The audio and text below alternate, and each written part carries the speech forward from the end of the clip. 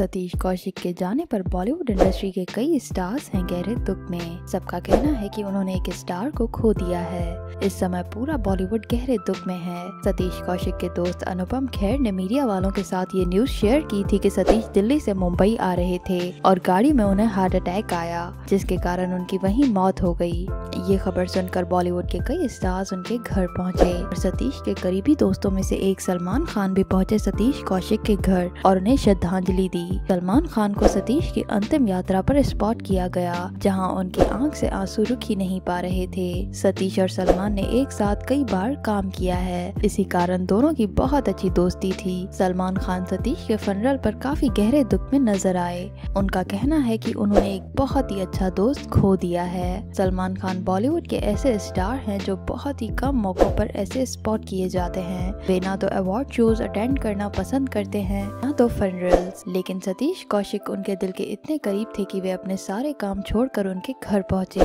सलमान खान ने मीडिया वालों से बात तो नहीं की, लेकिन उनके आँसू देखकर सब उनके दुख का अंदाज़ा लगा सकते हैं। अपने जाने से कुछ ही दिन पहले सतीश ने फ्रेंड्स के साथ मिलकर होली पार्टी भी की थी और अपने ट्विटर अकाउंट द्वारा अपने हैप्पी मोमेंट्स भी शेयर किए थे। सभी स्टार्स का कहना है कि उन्हें क्या पता था कि सतीश उन्हें इतनी जल्दी छोड़कर चले जाएँगे। वेल दोस्तों, हम आशा करते हैं कि सतीश की आत्मा को शांति मिले। आपसे भी ये रिक्वेस्ट है कि उनकी आत्मा की शांति के लिए नीचे कमेंट बॉक्स में प्रेयर्स लिखना मत भूलिएगा। और इस लेजेंडरी एक्टर के सपोर्ट के लिए वीडियो पर लाइक तो बनता है।